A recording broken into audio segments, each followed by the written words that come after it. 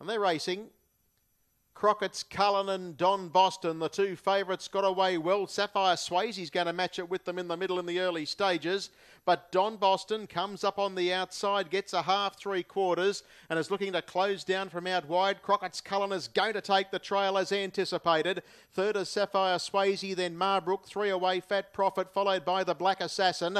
They were followed well back in the race then by on the inside Mr. Chow, and back with it is Franco Salisbury. So in that order, a 26 1 first split, Don Boston led. Oh, Crockett's Cullen's got into trouble there. Crockett's Cullen's galloping. In the meantime, Sapphire Swayze drops onto the leader's back, and then came Marbrook. Crockett's Cullen quickly recovers, down and pacing, lost about six lengths.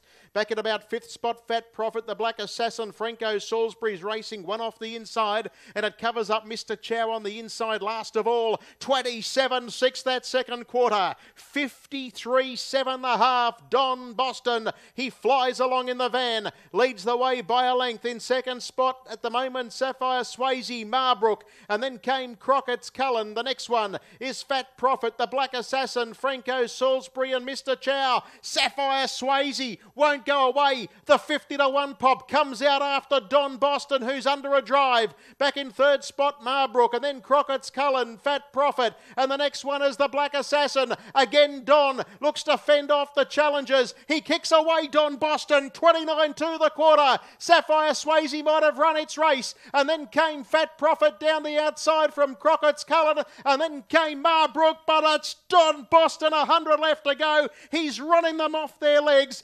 Don Boston is going to win another one. Here comes Don Boston. Here comes the time, and he stops the clock in 52 and 1.